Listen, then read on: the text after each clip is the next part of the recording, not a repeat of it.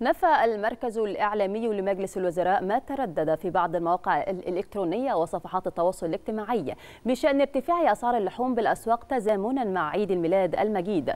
وأوضح المركز الإعلامي أن أسعار اللحوم مستقرة ولم يطرأ عليها أي زيادات مشددا على توافر اللحوم بكافة أنواعها بالأسواق وجميع فروع ومنافذ الوزارة على مستوى الجمهورية مع طرح كميات كبيرة منها بهدف تحقيق وفرة في الأسواق لضبط الأسعار كما أشار المركز الإعلامي إلى شن حملات تفتيش دورية على كافة أسواق اللحوم لضبط أي مخالفات ومنع أي تلاعب بالأسعار.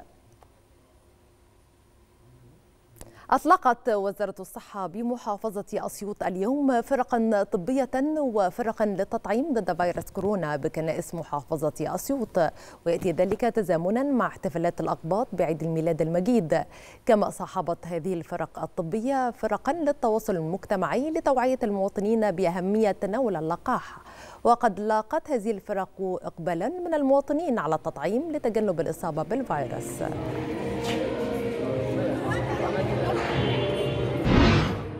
إحنا هنا موجودين في كنيسة الشهيد أبادير آه، معانا فريق للتثقيف الصحي اللي هو التواصل المجتمعي مع الناس.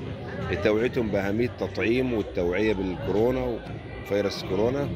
وإحنا طبعا بناء على توجيهات آه، وزارة الصحة وتعليمات الأستاذ الدكتور محمد زين وكيل وزارة الصحة إحنا موجودين معانا عدد كبير من الفرق التطعيم في أماكن مختلفة في الكنائس في أماكن مختلفة على مستوى الإدارات الصحية كل اداره صحيه معاه فريق للتطعيم فريق التثقيف الصحي موجود بيوعي الناس في الأعياد العيد الميلاد.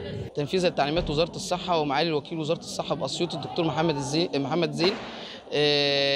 بنشر وتجهيز فرق التطعيم ضد مرض الكورونا ونشر فرق التثقيف المجتمعي لحث المواطنين المترددين على كنائس أسيوط للتطعيم ضد مرض الكورونا. وكذلك تجهيز فرق في الميادين العامة والمساجد.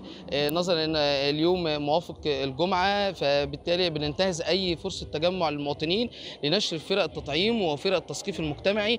طبعا دلوقتي من أهم الإجراءات الاحترازية ضد كورونا التطعيم هو اللي هو اللي في إيدينا. دلوقتي. فاحنا في محافظة أسيوط هنا مطلعين في الأول كانت فرق ثابتة دلوقتي اشتغلنا فرق ثابتة وفرق متنقلة. بتطلع فريق بيطلع فريق التطعيم ومعاه فريق التثقيف الصحي أو فريق التواصل المجتمعي.